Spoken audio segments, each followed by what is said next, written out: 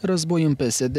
Fostul prim-ministru Victor Pontaș și-a depus demisia în alb din Partidul Social Democrat. Anunțul vine după ce Ponta a criticat în repetate rânduri modul în care este condus PSD, iar Liviu Dragnea l-a ironizat afirmând că orice critică a lui Victor Ponta este sănătate curată. Fostul premier susține că nu poate să tacă în privința unor lucruri pe care le știe și le vede cu îngrijorare și că dorește să spună ceea ce crede el de cuvință.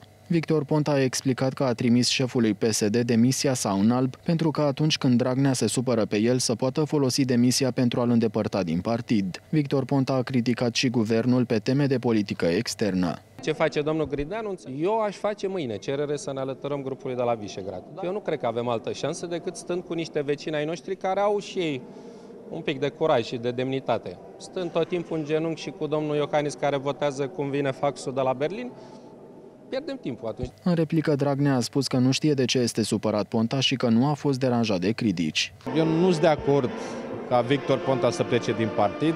Am citit, încerc să înțeleg ce a spus.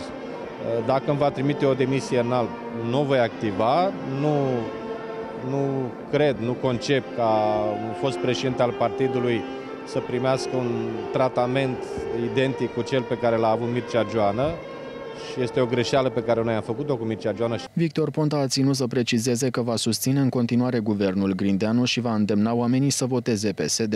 Fostul premier a mai afirmat că nu au conspirat împotriva președintelui social-democrat, ultima sa conversație telefonică cu Liviu Dragnea fiind în luna decembrie.